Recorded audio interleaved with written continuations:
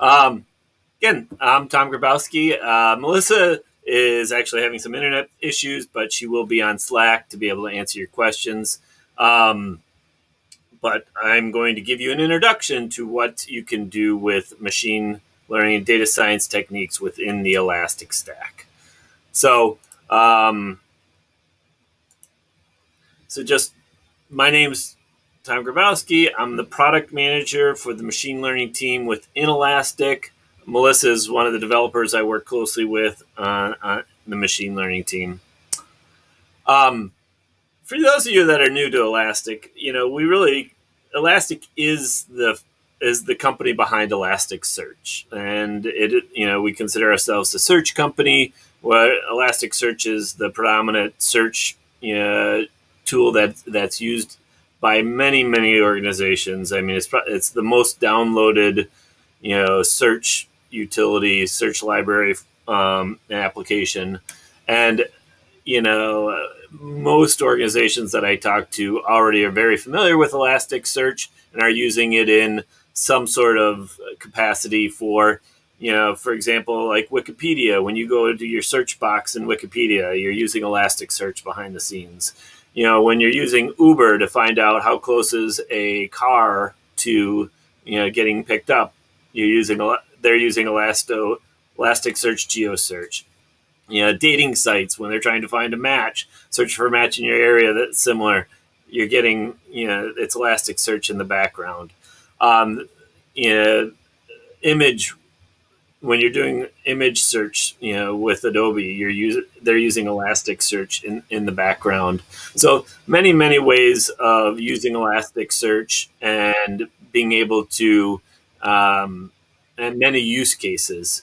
Uh, when we we try to categorize these use cases in a few different areas. One is just your your search tools, your search applications. Adding search to any application that you're running is it, you know is a big part of our um, use case.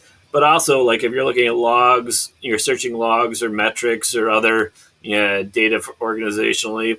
You know, we call that observability. When you're using it to search for fraud or unusual access or how users are accessing your system. We call it elastic security. We have these tools and workflows uh, within our application, and and you know Elasticsearch is kind of the core, but it's part of the overall Elastic stack that we deliver, um, and it's a very modular. And when you think about Elastic Stack, is a, a number of open source tools um, with some commercial features on top of those as well. But you know, if you think about Elasticsearch is is kind of the heart of it. It's where kind of your storage and search and analytics layer, and that's where kind of the machine learning pieces that I'm going to be talking to are built into Elastic, the core feature Elasticsearch. Um, and Kibana is like our window into the Elastic Stack. It you know it allows you to do visualizations, reporting, explore the data, search the data that is in Elasticsearch. So it's kind of that visual uh, front end to Elasticsearch. And then our ingestion layer, which is Beats and Logstash. Beats is our kind of our agents for you to collect. There's hundreds of different types of architectures and, and ways to collect data, whether it's you know files or you're streaming data in uh, through you know Hadoop or or or uh, many many ways of like streaming tw- Twitter feeds and and and syslog and uh, all, all, kinds of APIs that you can use it for, and then. Uh, Logstash is kind of our what we call our ETL tool, where you can transform your data. You know, if, if you're enriching it with geolocation, um, for example, or DNS names, or you know other ways that you might be uh, enriching that data before it gets sent to Elasticsearch. And Elasticsearch is really just to think about it, it's just storing JSON documents uh, that we've been collecting you know, via Beats and Logstash. It stores it, and then we can visualize that within Kibana. And we can do this all in real time. It's a very scalable system that you can have installed as, you know, I have it installed on my laptop. We have customers that are install thousands of servers that are running the, these as as nodes across thousands of servers. Um, and actually, there, there's we can have different deployment options. We have a software as a service we call Elastic Cloud. If you just go to cloud.elastic.co, um, you get to see like the actual full running version. Uh, and that same software that we run in Elastic Cloud, we offer a, a, an orchestration for if you know, if your organization is running Kubernetes or or not. You know, we have our own orchestration tool called Elastic Cloud Enterprise, where you can build your own private cloud with you know the the search and and, and data techniques that I'll be showing you today, just to kind of give an idea of what this looks like. Um, make sure you're familiar. If I go to my Elastic Cloud instance, I'm just going to switch over my my tab here. As I, I mentioned, it's just cloud.elastic.co.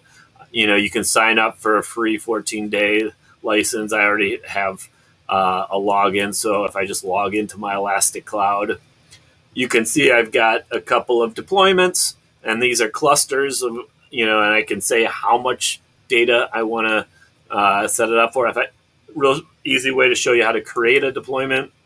I can just uh, give it a name, say what platform, what location. So I'm selecting my cloud platform.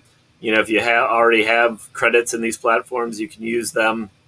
I set up the version.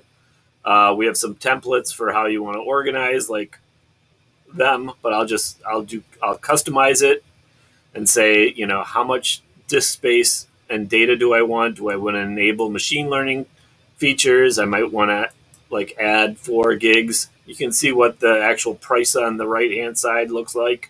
So just sliders that let you kind of configure your, cluster of servers so you can can use it to um, you know for your own purposes, whether it's a search interface or you know you're looking at log data or you're you're working on user information and I can just go here and create a deployment and it will go through and just build these the software for me. Give me my password. I can download that. Don't worry I'll delete this cluster in a few minutes. So um, you get an idea. It's just that quick that easy. You're filling out a form. You're up and running with an elastic cluster.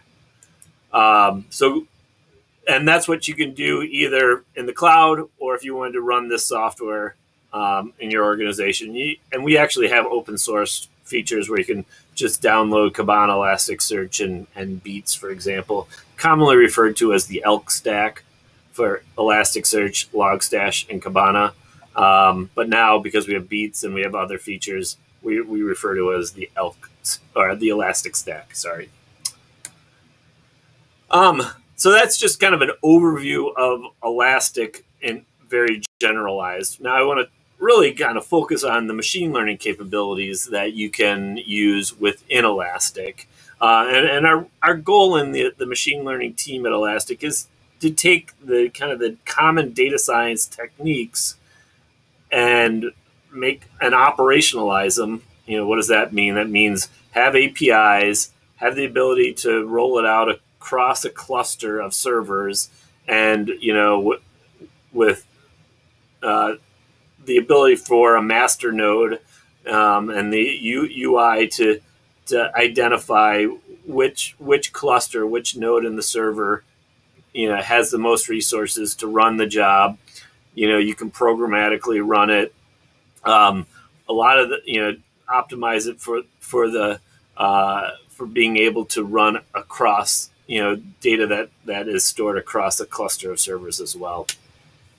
So make it so that and you know upgrades and updates and everything work seamlessly.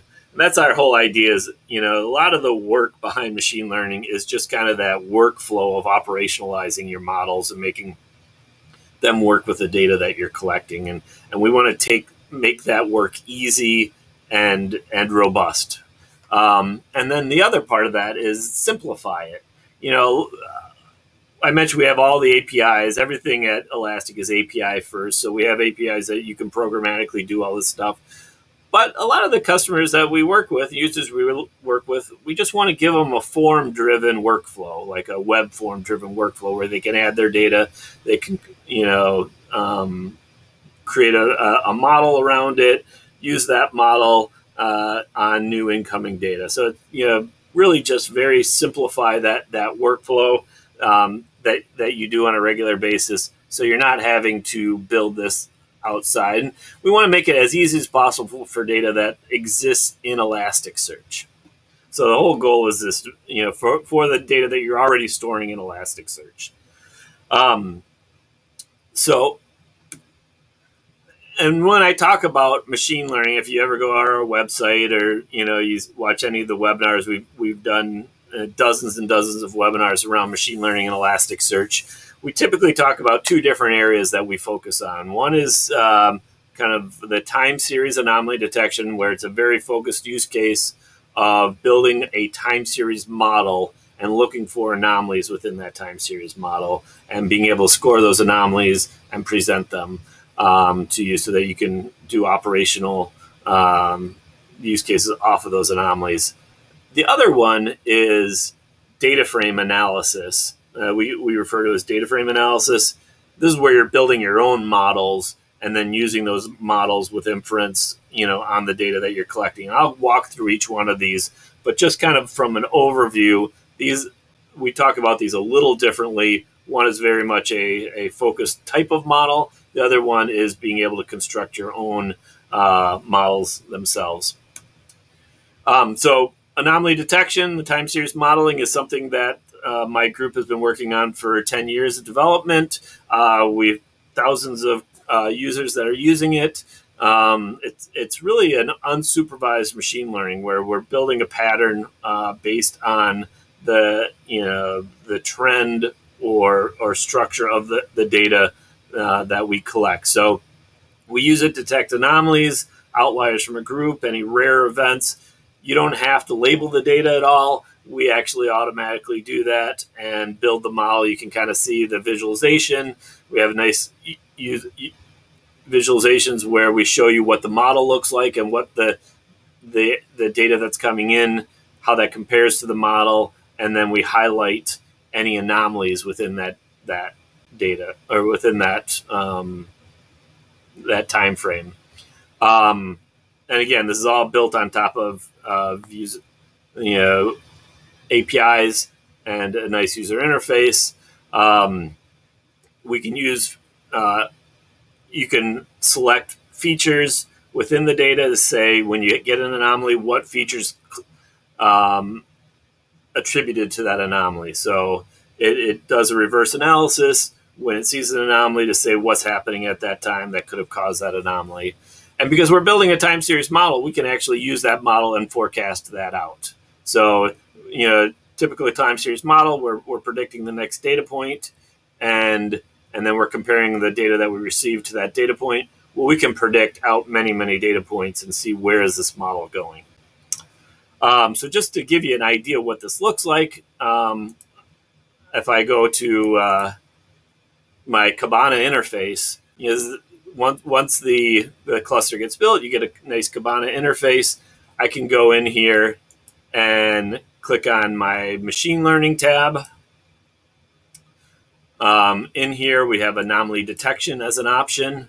Now, I've collected log data from my website, so the elastic.co website, and I'm looking at that uh, data within my system. I can just create a job for anomaly detection, and I might look at the, the beat that I use to create that data.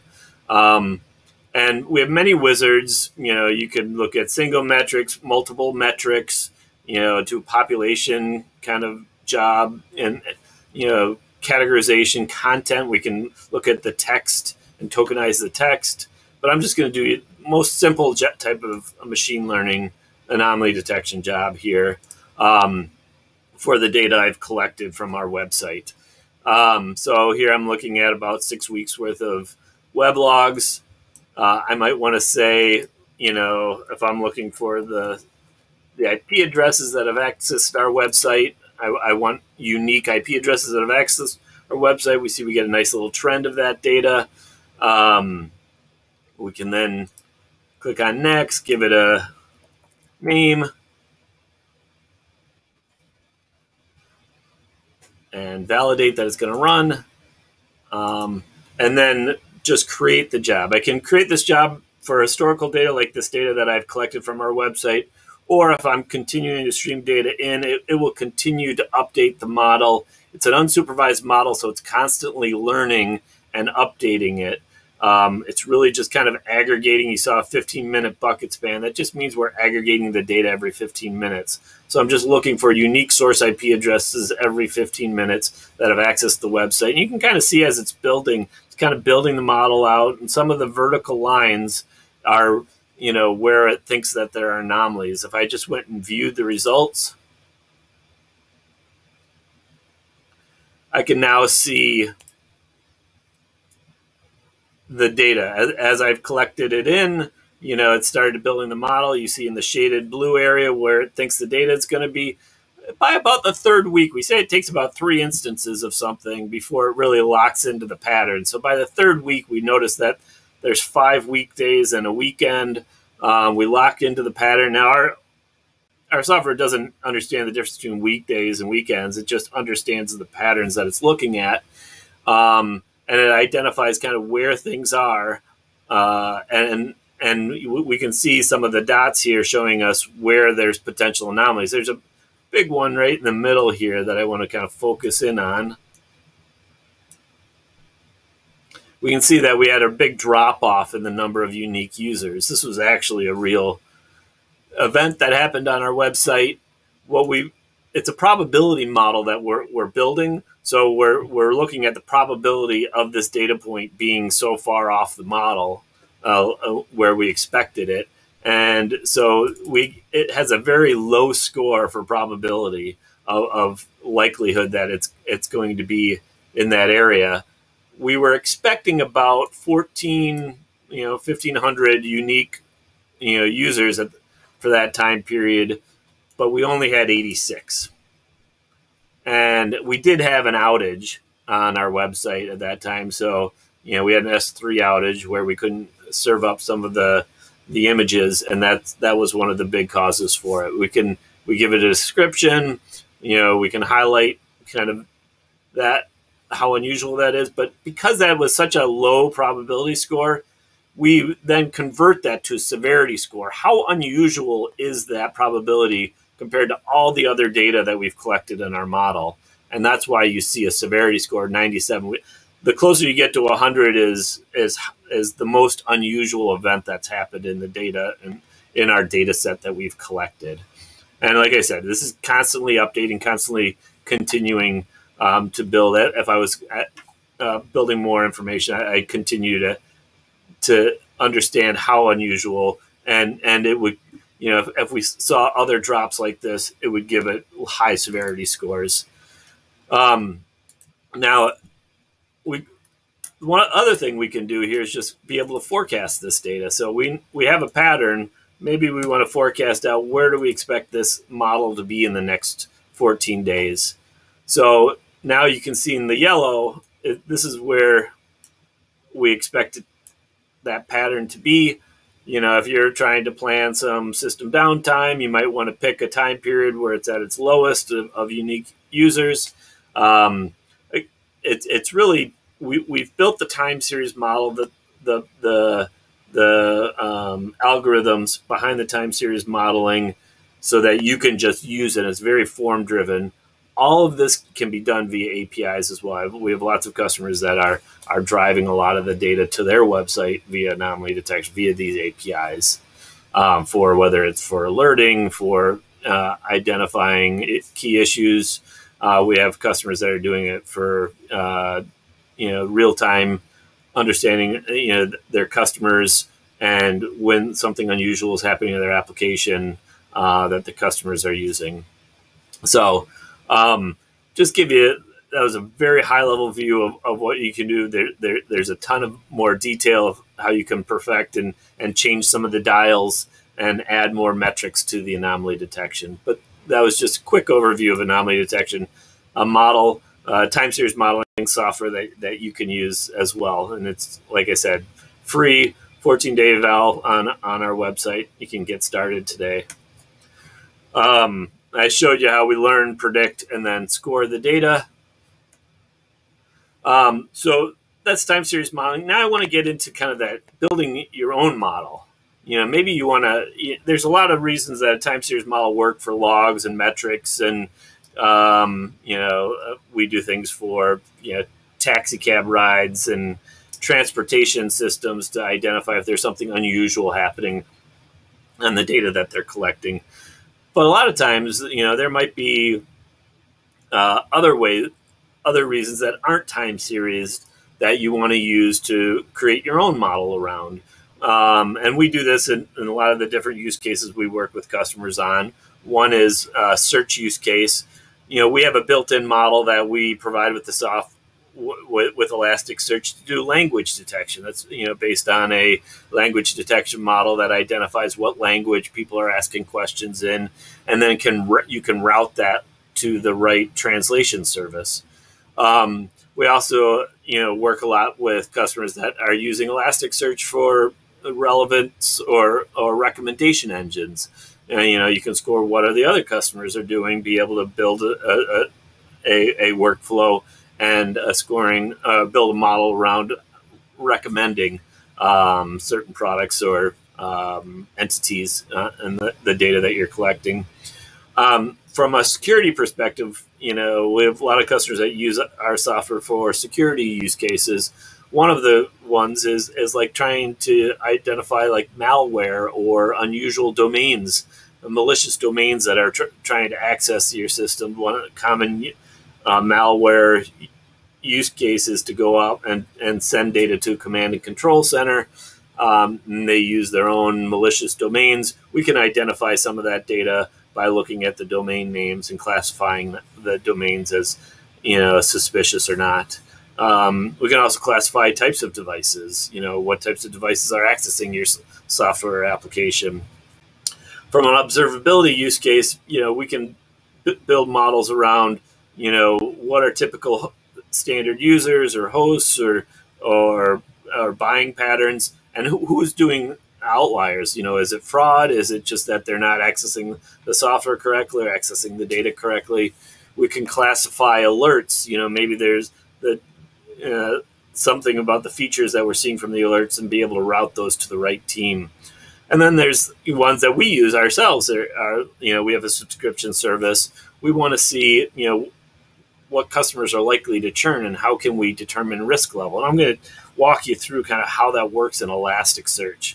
Um, so, you know, typical methodology, you know, machine learning methodology, and this, I think I grabbed this from Google's training, um, but, you know, all the way from problem to, you know, being able to use a machine learning model to infer uh, so your whole end-to-end machine learning pipeline, we can do that all with an Elasticsearch and deploy it and put it in production use case. Um, you know, if we say, let's say, what customers are likely to churn, and you know, the, some of the data I have is kind of tele, telecom, telephone data.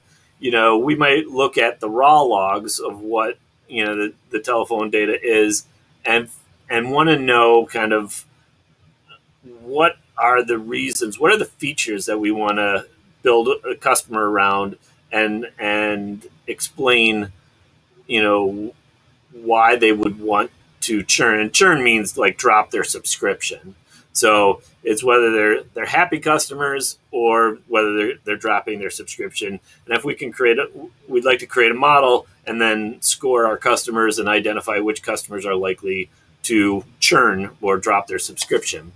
Uh, the, the raw data is typically not in the format that we want, so we have to construct that uh, data into the format we want. So I'm going to hop into the uh, user interface again. I'm back to machine learning. Um, and now I'm, I'm going to just use my data visualizer and import some sample data. So this is just a CSV file with customer information from my telecom company. You can see what that CSV file looks like. The software automatically identifies what are the fields in this data, how you know how many unique fields uh, are in here, and then I can just go and import it right in, and you know I'll just give it a name and import that data right into Elastic. Um, so now that it's imported, uh, I've got some call records as well. I've imported, so it just gives me like a really quick and easy way to you know view this data. We can actually um, drill into it and see you know the actual records themselves and what have I just imported.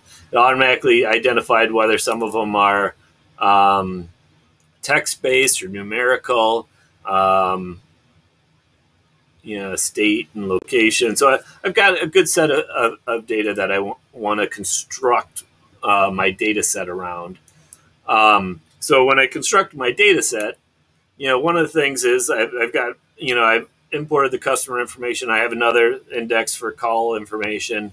Um, I want to combine those together and then transform or pivot. If you think about it like an Excel pivot table, you know, pivot around customer entity.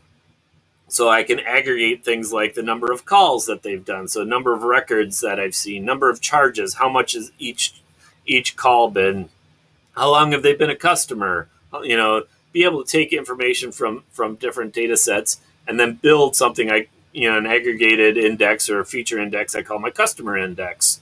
Um, so if I just go to my transforms, I've already done this uh, for the data set that I've built, and I kind of you can kind of see I've taken the calls information and customer information, and then built a destination index.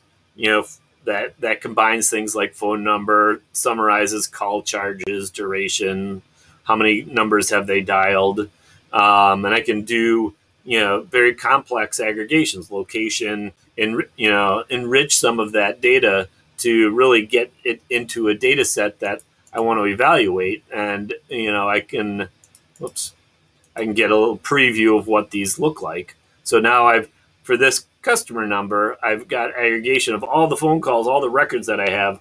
What are what are they doing, and how much are they they spending on the calls? So, I've transformed my data into a focus model. Now, I you know for the existing data set, I might have a training data set for all those different settings. And, and I can take that training set and build a, a supervised model. Now, in my model, I don't know if you, you saw, but one of the fields was whether they've churned or not. You know, it's a yes or no field. Um, whoops. And the the ability to have that kind of labeled data set allows me to create my testing set and create a supervised model around that. So if I go back to my um, machine learning tab, I can go into data frame analytics. I can create a job based on that churn data set where I've, I've basically constructed my data set. And I can, we have a few different types of configuration. If I wanted to look at outlier detection, outlier detection builds kind of the clustering and scores the cluster and identifies what what from the features, what's the distance uh, and density of, of that uh, outlier from from the clusters. Regression is if you're doing a prediction, you know, if you're trying to predict a numeric, you know, uh, out there, and then classification. You know, for this, I'm doing a binary classification. Uh, we can do multi-class classification, um, but this these are just based on boosted tree algorithms. Uh, you know that have made it a you know, simplified workflow and and form driven workflow. There's a lot of configuration of dials you can turn, but we try to make it again. Uh, you'll notice that these forms make it very easy to get started, but you can get very deep. So here I've got my data set. I'm going to say churn is the, the dependent variable I'm trying to predict. Here are the fields in the data set that I want to use all of them. I can in include or not include them. Um, and what percentage of the data do I want to use for training? I, I might say, you know, give me use 90% and then I'm going to use the final 10% for testing against. So I can just click the continue. I've got a bunch of hyperparameters I can add to, uh, and, and, and we show how much memory this is going to take to build this model. Uh, I'm just going to leave the defaults, give it a name, description if I want give it a field name. Um, and see if I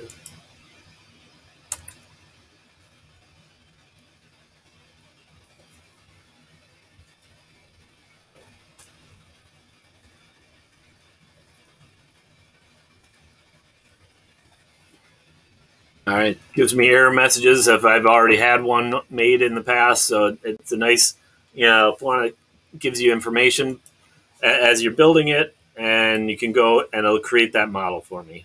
So it just goes through. Um, we can actually view the creation of the model. It's doing the analysis. Again, this can all be done via APIs as well, programmatically, but the UI is very easy to use, easy to build your own models. Um, and uh, the give you an idea of what the model looks like when you get done. We provide a, a level. Uh, we have an evaluate API that gives you like scoring of the different models, how accurate they are based on the testing data set.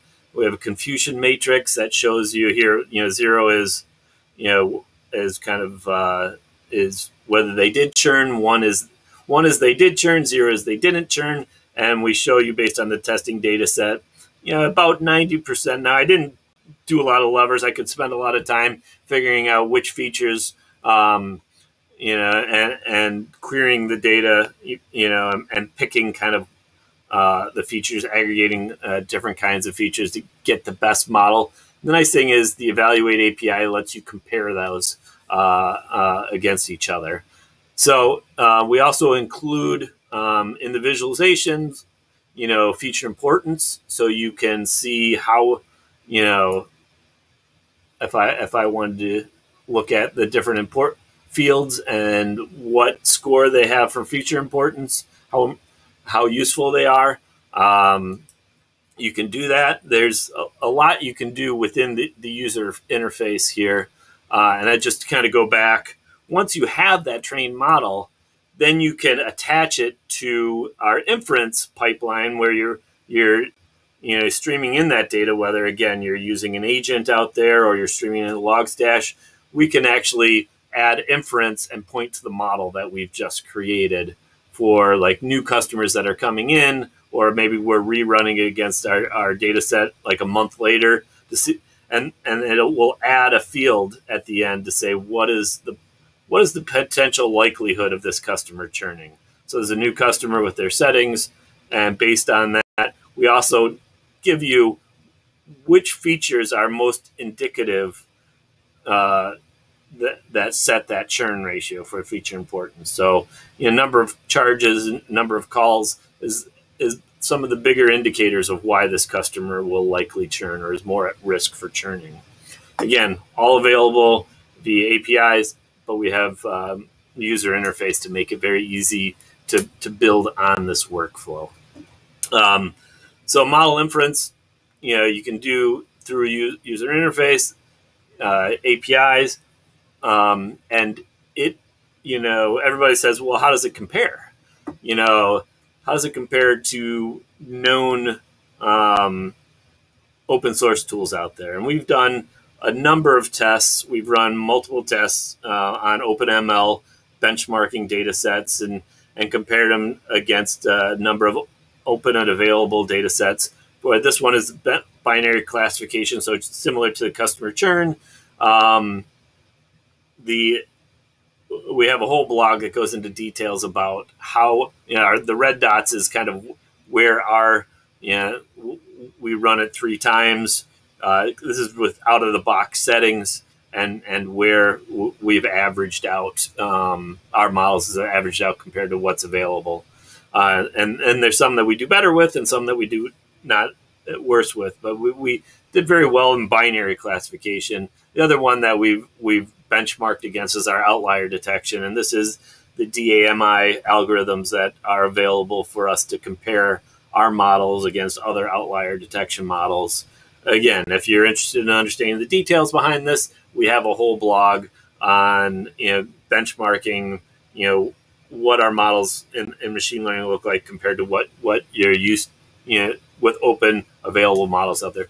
One of the big differences you won't see in this is just the speed because everything in machine or everything that we do in with machine learning and elastic is based on elasticsearch elasticsearch is just such a fast uh, query engine that allows us to build our models so much faster with less resources because we've constructed the data set in a way that that makes it uh, much faster than doing something in like a relational database or or text files uh, or Hadoop or something. We we can actively do this, uh, you know, exponentially faster than than than many of the the other tools that are out there because of the way that we store and, and query the data. And it's, it's really based on Elasticsearch. Using a search engine as the back backend makes it much faster.